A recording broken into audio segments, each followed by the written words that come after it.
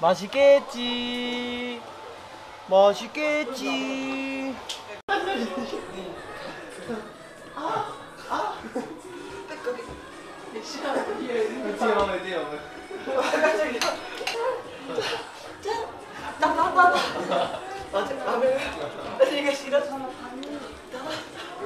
네, 이제부터 나오는 가수마다 제가 안무를 다 따서 오케이 오케이 오케이 예, 밀빵 형 있잖아 여기 맞아.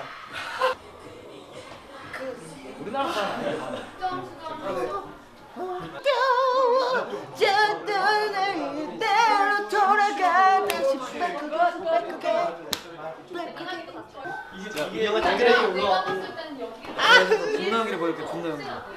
형 음반이 하네요 났어 김현경 실장.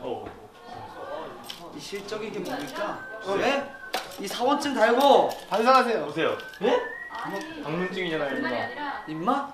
상사한테 임마 이런 건안 되겠어. 나 오늘 주먹 써야겠어. 네, 갖고 있게. 예 자네 내가 어떤 사람인지 모르지?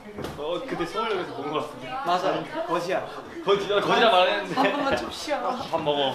밥 어디 줘야 먹지? 밥 먹어. 저야 먹지? 이름 뭐예요? 황윤성이라고 합니다. 방문이라 써 있잖아.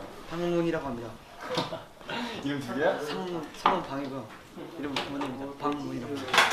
누가 지어줬어? 저희 아버지, 저희 아버지 가실 겁니까? 무슨 방자? 무슨 방자야? 방귀방이요. 나중에 진짜 연기잖아 아까.